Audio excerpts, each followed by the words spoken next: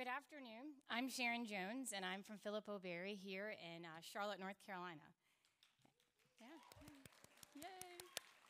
It's a little bit hard to follow that act, uh, considering uh, Peter is a wonderful, eloquent speaker, an English teacher. Um, but I, will, I would like to take a few minutes to take, tell you a little bit about my experience. I have a very similar story to Peter's. I received a phone call from my principal, so I wasn't called to the office, I got the phone call. And it was a week before the beginning of Coach University, and I happened to be vacationing at the beach with my family. So you can imagine what I was thinking hmm, what is this about? Uh, but she uh, asked me if I'd be interested in attending the training the following week. So I don't know if ask or if I was being told this is what was happening. So we were going. Um, so the next week, I went kicking and screaming, I want you to know, to this training. And I'm pretty sure if you can envision, the first day did not go as well. And I think Frederica might have wanted to throw a dart at my head because I'm pretty sure I was not exactly the best student.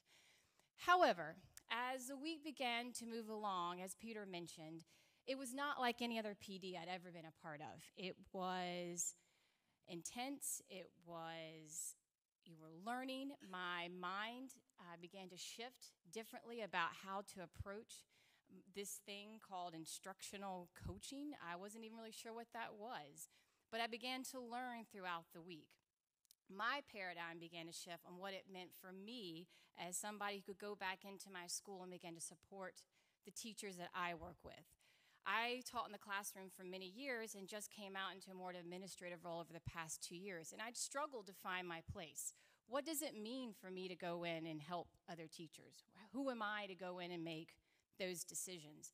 And Coach U helped me find that place by having the accountability and understanding the concepts of what it means to really make movement was something that I can't even put to you in words over the past year, I had a wonderful experience of having a coach myself who helped guide and show me how to implement the ideas that Frederica had presented to us at the very beginning of our week intense in sunny, hot Charlotte, uh, not in Raleigh, but and take those experiences and really make change in my school.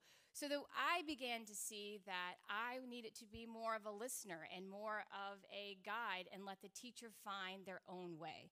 And that was something that I had never really thought about before.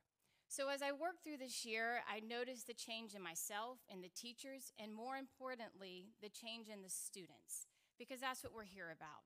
The students are what keep us going. They make us laugh every day. That's why we get up every morning to go to this wonderful job of being an educator. There's nothing else in this world I'd rather do. So for me, Coach University gave me a grounding point, a point for me to start and say, we really can make change. And I am thrilled to have been a part of it. Thank you for making me stay the course. The accountability has been phenomenal. And I am truly changed myself, and I will walk into the classroom, excuse me, in the fall feeling much more confident as a coach and as an educator. So that's my story. Thank you.